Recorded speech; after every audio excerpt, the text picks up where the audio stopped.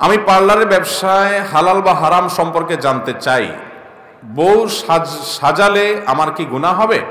ইসলামে যেসব সাজসজ্জার নিষেধ আছে, সেসব সার্ভিসকে আমি হিন্দু মহিলাদের দিলে আমার ইনকাম হালাল হবে বা আমি ভিন্ন ধর্মীদের সাজাতে পারব কি না? যারা, তারা পর্দা করে না জেনেও। প্রথম কথা হলো, পার্লারে কোনো নারী, নারীদেরকে সার্ভিস দেন। এটা মৌলিকভাবে জায়েজ আছে। সার্ভিসে তিনি কি সার্ভিস দেন, এটা হলো দেখার বিষয়। তিনি যদি কোনো হারাম কাজ করে, সার্ভিস দেন, তাহলে সেটা করে হালা, টাকা উপার্জন করলে সেটা হালাল হবে না।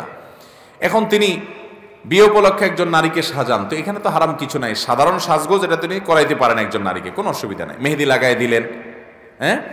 বা আপনার মেকআপ করাই দিলেন বা বিভিন্ন রকমের সাজগোজ করাই দিলেন। শরিয়ার গণ্ডির মধ্যে থেকে যদি করেন, তাহলে সেটা করলে বিউটি পার্লারে এই উপার্জনের টাকা হালাল হবে, এটাতে কোনো অসুবিধা নাই। কিন্তু আপনি এমন সাজগোজ করাচ্ছেন যেটা হারাম, যেটা নিষিদ্ধ, যেটা নাজায়েজ, যেটা গুনাহ, যেটা মাকরু, আপনি ভ্রু প্লাগ করাই দিচ্ছেন। আছে না নাই? তো এটা আপনার জন্য জায়েজ হবে। আপনি ওখানে কাজ করলে বলবেন যে, আমি এটা করব, এটা করতে পারব না। এটা অন্য কাউকে দিয়ে করান, এটা আমি করতে পারব না, আমি এইটুকু করতে পারব, অতএব সেটা আপনি করবেন।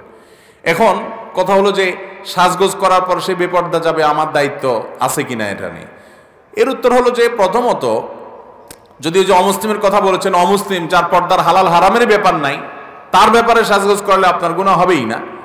আর যদি মুসলিম নারী হয় এবং সে সাজগোজ করে বাসায় থাকতে পারে, বিয়ের মধ্যে, মহিলাদের মধ্যে মহিলাদের আলাদা আয়োজন হয়, সেখানে থাকতে পারে, এরকম বহুমুখী সম্ভাবনা আছে, তো আপনি সাজগোজ করাতে কোনো অসুবিধা নাই।